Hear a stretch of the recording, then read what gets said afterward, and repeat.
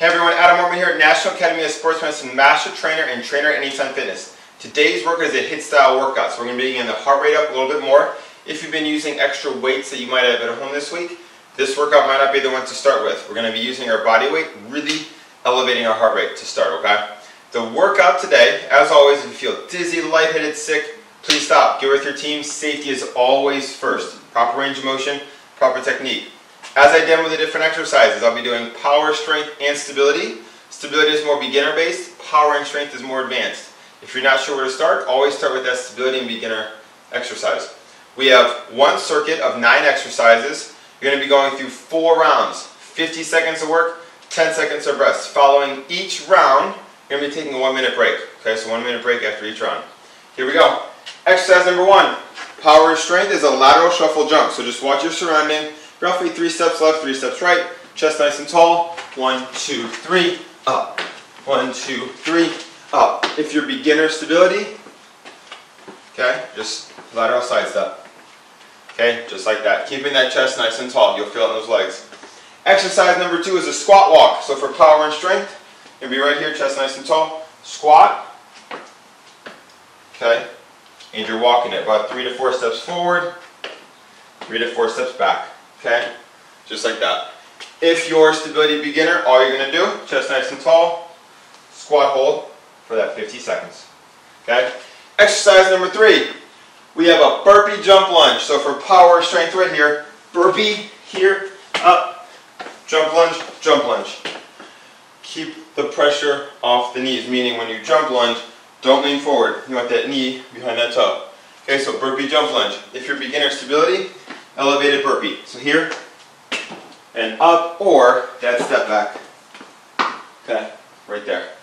Exercise four for all levels is a hollow body hold. One of my favorite core exercises. You're down, the key here.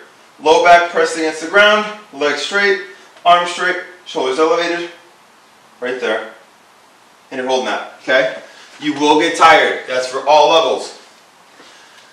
Following your hollow body hold, we have a TRX low row. So if you have straps, taking a step in, here, wrist to armpits. Okay, we want to avoid this, don't do that, and don't, you know, just be aware, go on ahead nice and neutral. Okay, the more lean that you have, harder it's going to be, right there. Okay, if you don't have straps, that's fine. If you have weights, dumbbells or kettlebells, you'll go here, back nice and strong, not rounded, pull through. If you don't have weights, create tension like we've been doing in our back, okay? So you're going to literally squeeze, create that tension, pull up and down, up and down. Remember, it's a HIIT workout, so we're trying to go quick. So even though I don't have weight, I still feel that, okay? So that's that TRX low row.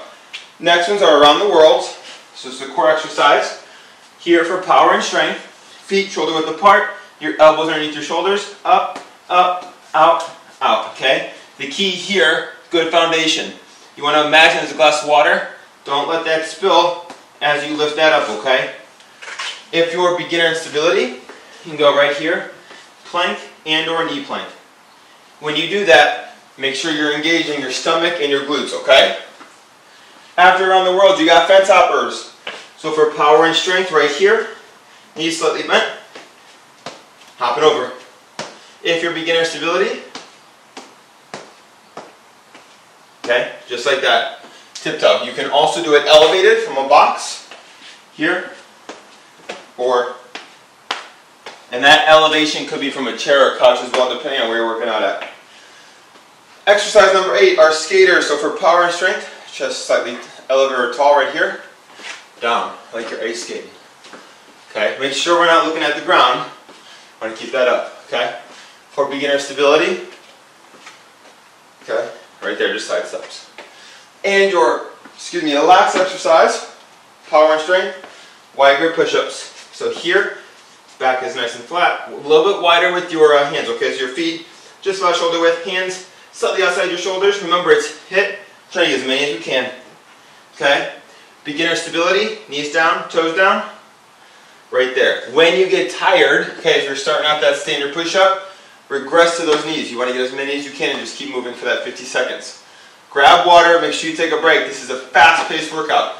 Make sure if you feel any type of dizziness or lightheadedness, please stop. If you need something, let us know. Thanks guys.